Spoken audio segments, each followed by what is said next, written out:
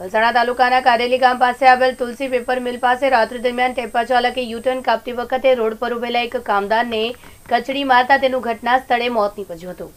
વલસાડાના કારેલી ગામ ખાતે આવેલા તુલસી પેપર મિલમાં આઈશર ટેમ્પાએ ટેમ્પો બહાર કાઢવાનું યુટર્ન માર્ગ તે વખતે રોડ સાઇડ પર ઉભેલા મુન્નુ ગૌડ નામના કામદાર ટેમ્પાના પાછળના વ્હીલમાં કચડાઈ જતા તેનું મોત નીપજ્યું હતું.